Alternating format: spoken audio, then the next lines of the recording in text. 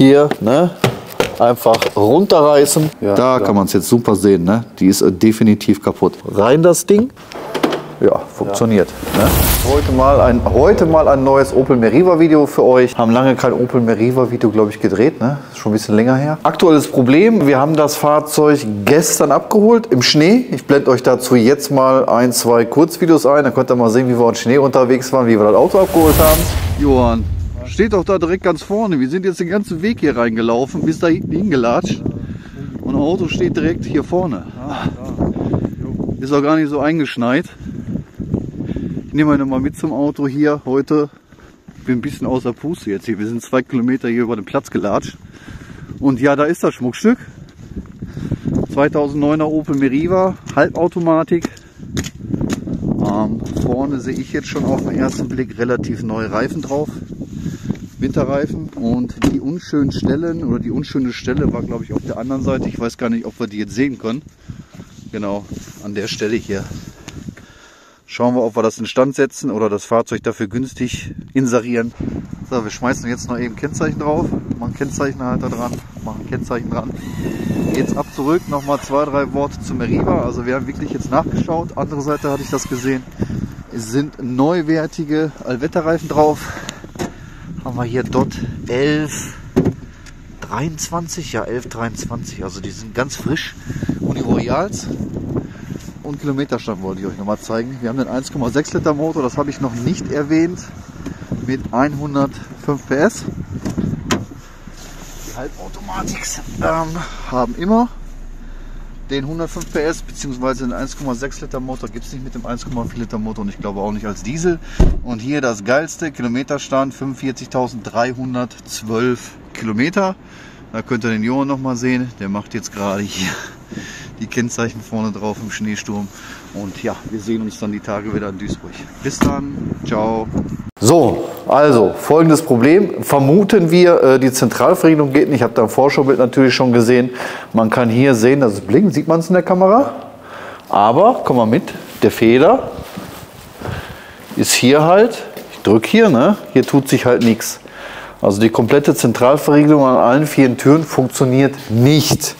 So, meine Vermutung ist, da es gestern kalt war, eisig war, schneeig war, äh, alles eingefroren war, Auto war jetzt nicht so zugeschneit, Gott sei Dank, aber ich gehe mal davon aus, dass es ganz einfach mit der Kälte zusammenhängt, ähm, dass irgendwo was festgefroren war und beim Auf- und Zuschließen ist die Sicherung rausgeflogen. Das ist das, was ich jetzt vermute.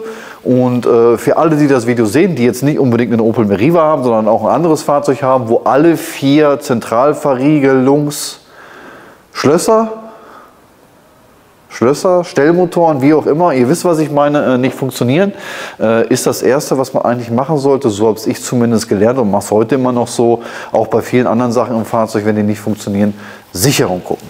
Also in Erfahrung bringen, das habe ich jetzt für euch bei dem Auto schon gemacht, braucht ihr in dem Fall natürlich nicht mehr machen, den richtigen Steckplatz finden, äh, die Sicherung kontrollieren, ob die in Ordnung ist und Tipp von mir, selbst wenn ich sag mal, in dem Fall haben wir jetzt hier Steckplatz 19 für die Sicherung. Zeige ich euch auch gleich. Ich weiß noch nicht mal, ob die Sicherung kaputt oder ganz ist. Habe ich jetzt selber noch nicht geschaut. Und ich weiß auch nicht an der Stelle, selbst wenn die Sicherung kaputt sein sollte und wir machen jetzt eine neue rein, ob danach die Zentralverriegelung funktioniert, weiß ich nicht. Wie gesagt, das ist jetzt hier, wenn wir noch nichts kontrolliert, noch nichts gemacht, äh, mache ich heute alles mit euch zusammen. Jetzt habe ich den Faden verloren, was ich davor gesagt habe. Der Johann auch, hat es auch vergessen. Ist nicht schlimm, wir machen einfach weiter.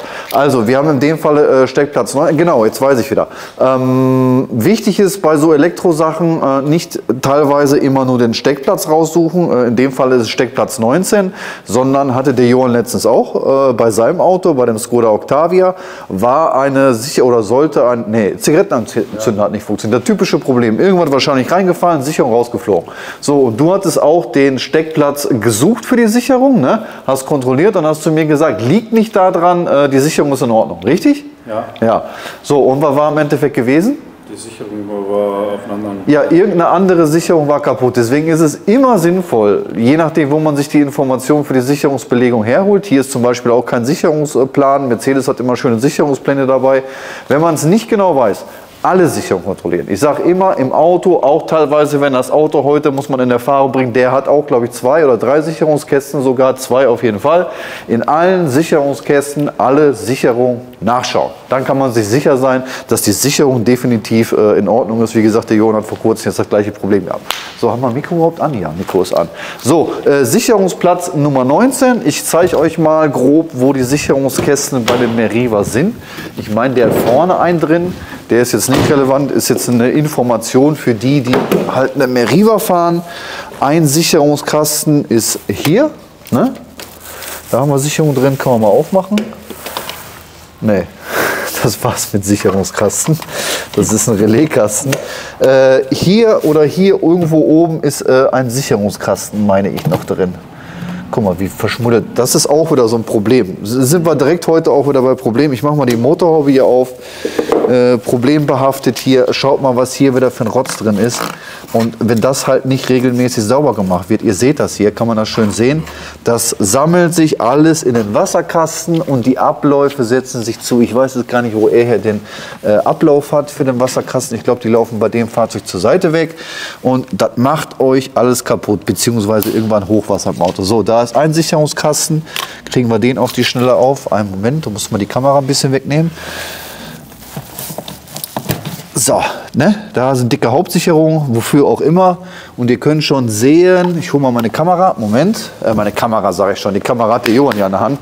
Lampe, perfektes Beispiel hierfür, damit wir ein bisschen Licht haben. Guck mal, was hier oben liegt. Hier sind zwar Gitter und sowas drauf, aber der Kram fliegt natürlich auch nach unten durch. Das kriegst du jetzt nicht drauf.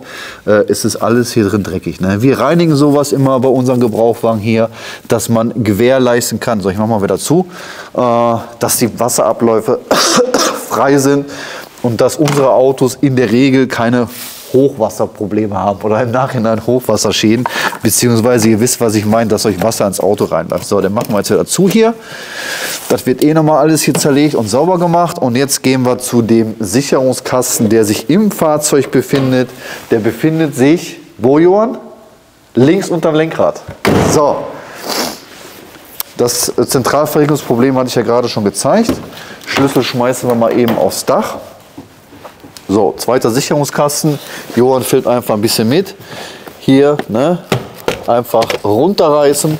Man könnte das sehen, ich würde mal so aus dem Bauch raus sagen, da befinden sich jetzt 20 Sicherungen. So, jetzt haben wir die Möglichkeit, das Teil hier zu benutzen, was hier in der Regel dabei ist. Wenn es nicht dabei ist, äh, eine Spitzzange nehmen. Das ist ein äh, Sicherungstier, kann man das so benennen als Spezialwerkzeug? Ja. Gut, so. Sicherungsplatz Nummer 19 habe ich jetzt recherchiert, ist in dem Falle die Sicherung. Wenn ihr nicht sicher seid, wo 19 bei euch ist, die sind auch alle nummeriert. Das können wir euch jetzt nicht zeigen, das ist zu klein. Also es geht heute hier um die Sicherung. Das ist Steckplatz Nummer 19 für die Zentralverriegelung. Nehme ich jetzt dieses Werkzeug hier. Ich mache es eigentlich in der Regel immer mit einer Spitzzange, das funktioniert besser. Und dann nehmen wir die Sicherung jetzt mal raus und dann gucken wir uns die an. Ah, schauen wir, ob wir das filmisch durchkriegen oder draufkriegen. Ja, da klar. kann man es jetzt super sehen. Ne? Die ist äh, definitiv kaputt. So, oben steht in der Regel immer drauf, wie groß bzw. wie stark die Sicherung sein müssen. Da haben wir in dem Falle hier äh, 20 Ampere. Und ich habe mir für sowas immer, weil ich ja auch mit Sicherung am Fummeln bin und mir Sicherung fehlen, haben wir uns einen Sicherungskasten für die großen Sicherungen gekauft und einen Sicherungskasten für die kleinen Sicherungen. Ne? Schön schickimicki hier, da wir ja öfters damit zu tun haben. Ne? Braucht ihr auch sowas jetzt für die Mini-Sicherung oder für die großen Sicherungen? Link zu so einem süßen Kasten hier packe ich euch unten in die Videobeschreibung. Kosten einen Zehner und ich denke mal gut angelegtes Geld für ein Autoleben, weil äh, kannst du auch für dein nächstes Auto verwenden. Ne? Also die Sicherung jetzt, äh, je nachdem, was man hat, groß oder klein, kannst du mal zeigen passen halt heute universal in andere Autos. Von daher sollte oh, man. Guck mal, da ist auch so ein Sicherungszieher. Ja, guck mal, da ist auch ein Sicherungszieher mit dabei. Schön in Rot. He? Der ist jetzt hier von Herd und Bus, das ist ein bisschen teurer. Ich, ich suche euch was raus. Wie gesagt, für große und kleine Sicherungen, vielleicht auch komplett. Und packe euch unten was äh, in die Videobeschreibung. Sollte man sich in eine Garage legen, in eine in eine, im Keller legen, wo auch immer, ins Auto reinlegen.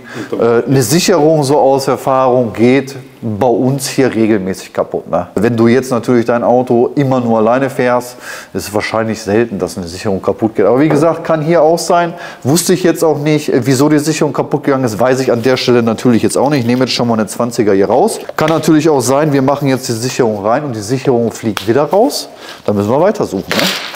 Dann kann sein, dass irgendwo ein Kurzschluss ist oder irgendwo was kaputt ist, was die Sicherung schießt. Und äh, dann müssen wir schauen, äh, dass wir den Fehler suchen. Dann wird das Video jetzt ein langes Video. Ne? So, wir nehmen jetzt die Sicherung. Ich nehme jetzt eine Spitzzange. Ich bin es gewöhnt, mit einer Spitzzange zu arbeiten. Und dann knalle ich die Sicherung wieder rein. Für alle, die auch das Problem haben sollten, Steckplatz Nummer 19 bei Meriva für die Z-Tastenregelung. Warte, warte, nicht so schnell. Ah, gut, so. da, da gibt es jetzt nichts großartig was bei zu sehen. Besser mit oder ohne Lampe? Mit. Mit? Ja. So, rein das Ding. Und dann schauen wir mal jetzt, ob die Zentralverriegelung funktioniert. Ah, Schlüssel hatten wir auf dem Dach gelegt, ne? Was sagst du, lag es da dran oder nicht, Johann? Keine Ahnung. Ja, funktioniert. Ja. Ne? Funktionieren auch alle. Ja. Ja, aber funktioniert. Ich habe jetzt hier zehnmal geschlossen. Ja, das war's. Wir kommen zum Ende des Videos. Kurzes, knackiges Video, aber wir haben bestimmt trotzdem wieder zehn Minuten drauf. Ich bin froh, wir haben das Fahrzeug repariert. Den Schaden an der Zentralverriegelung mit einer Sicherung, die, weiß ich nicht, 10, 20, 30, 40, 50 Cent, selbst wenn sie einen Euro kosten würde, äh, drauf geschissen an der Stelle, äh, funktioniert. Wir müssen nichts zerlegen. War eine einfache, kostengünstige Reparatur für uns jetzt natürlich. Und ich gehe mal ganz stark davon aus, ihr könnt das mal in die Kommentare schreiben, ob ihr das Problem bei eurem Meriva auch schon mal hattet, vielleicht auch bei irgendeinem anderen Auto, dass Entschuldigung, bei Frost oder bei sehr tiefen Temperaturen die Sicherung von der Zentralverriegelung rausgeflogen ist, vielleicht durch Feuchtigkeit in den Türen, whatever, keine Ahnung, ich weiß es nicht. Viel Spaß beim Nachmachen, schreibt uns was Nettes in die Kommentare, Daumen nach oben da lassen für das Video und wollt ihr oder du das nächste Video nicht verpassen, natürlich den Kanal abonnieren. Wir sehen uns im nächsten Video. Bis dann, ciao!